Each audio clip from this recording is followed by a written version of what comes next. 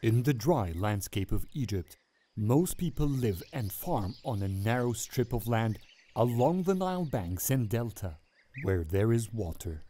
In recent years, global crises have interrupted supply chains and increased the cost of food imports. The pressure is on to increase national food production. However, intensive farming practices and climate change are threatening harvests. And in recent years, because of extreme weather induced by climate change, experts say that the land productivity will drop further.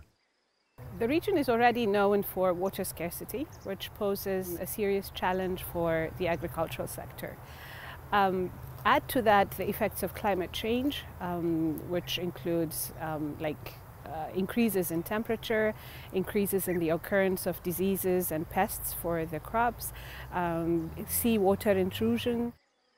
Climate change experts estimate that global food production could drop by 10% by 2050, putting food security and the livelihoods of millions of people at risk, particularly in developing countries.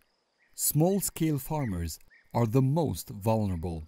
They lack the resources, training, and information to adapt.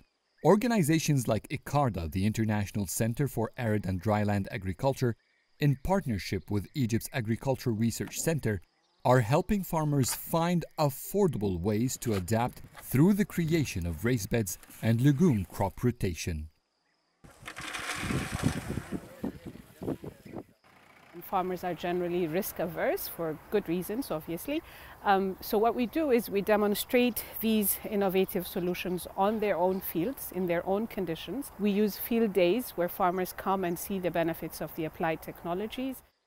زي محصول القمح أنا بقالي حوالي سبع سنين بزرعه على مصاطب المحصول عندي ما حدش بيجيب المحصول اللي أنا بجيبه وبدأت طبعا الجيران يجي يسألني أقول له اعمل مصاطب عشان بتوفر مية وممكن لو الحشايش ساعات بنجيب الدواء بيطلع مغشوش Small scale farmers produce up to 80% of the food consumed in regions such as sub Saharan Africa and Asia. So, investing in demonstrating the benefits of approaches like raised beds and crop rotation is critical to building resilience to climate change. Yet, these farmers receive just 1.7% of global climate financing in 2018, $10 billion compared to the estimated 240 billion needed.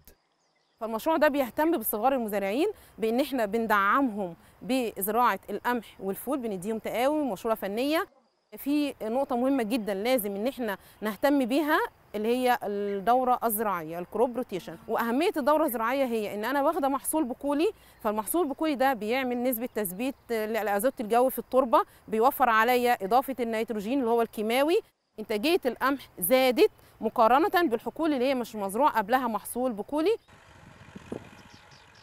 These initiatives demonstrate the importance of diverse farming practices for maintaining food security in changing climate. They also highlight the need for more financing for adaptation.